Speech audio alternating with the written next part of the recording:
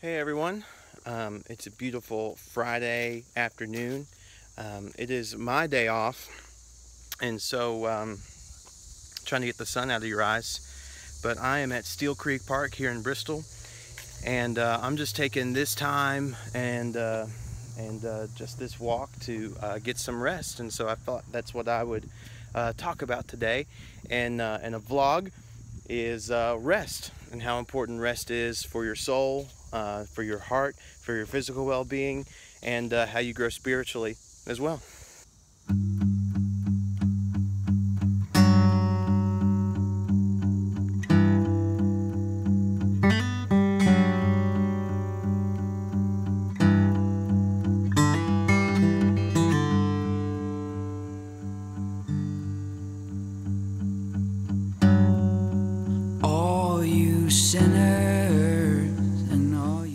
So I've just learned over time, and uh, as I've been out of school now and working full time, um, that rest is so important um, for what you do every single day. It doesn't matter what profession you're in. Um, life can be so crazy and it can be uh, so busy, and we can oftentimes forget to make sure that we're resting and that we're taking time for ourselves.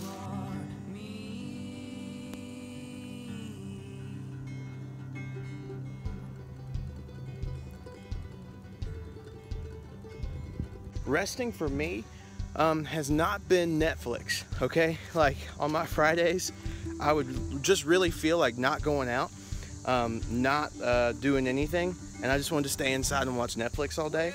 Um, well, I was still receiving information, stuff was still entering into my brain, and uh, I was still trying to process information. And what I really needed uh, was just some time to rest. Maybe maybe you're having a hard time with rest and maybe you feel like even when you're supposed to be resting, you're not resting.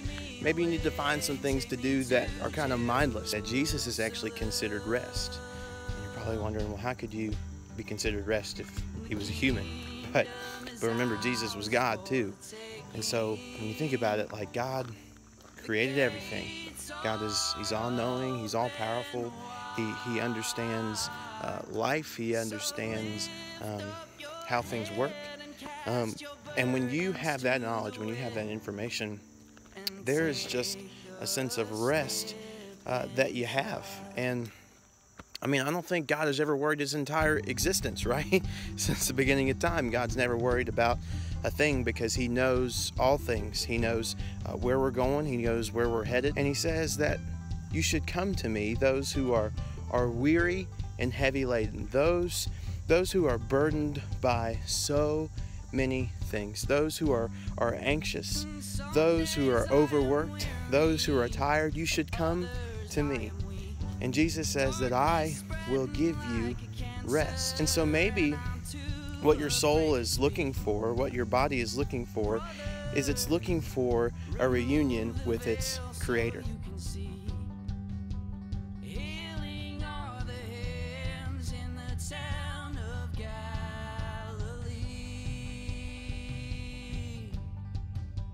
Maybe maybe that's what you need in your life right now is a reunion with your creator. Maybe maybe you are a follower of Jesus and you just haven't really sat down to make time for him in your daily schedule.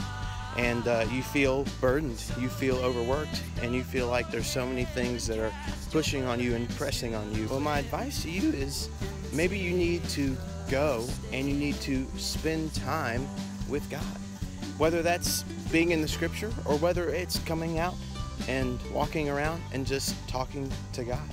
Did you know that you can talk to God and that God actually listens to you? Psalm 116:2 says that he bends down to hear our prayers. Like that is that is incredible, right? That is amazing that we have a God that is so wonderful, that is so amazing that that loves us so much that he's willing to bend down to hear our prayer and to listen to what it is that is troubling us. And um, maybe that's what you need to do. Maybe that's what you need to create margin for in your life. And maybe maybe you're watching this and you're not a Christ follower, right? You would you would say that you don't have this relationship uh, with Christ, but but maybe you feel this weight, you feel this this burden um, that you feel like you have to carry, and maybe you even feel like you have to do these sorts of things in order to be noticed by God.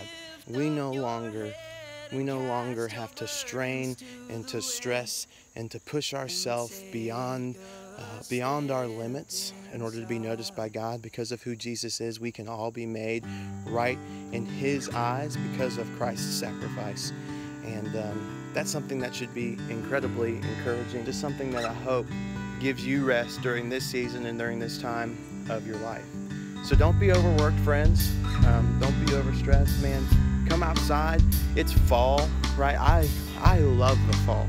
I love putting on a flannel and some blue jeans and some boots and just going outside and walking around and feeling the cool air. Um, if it could stay like that year round, that would be heaven.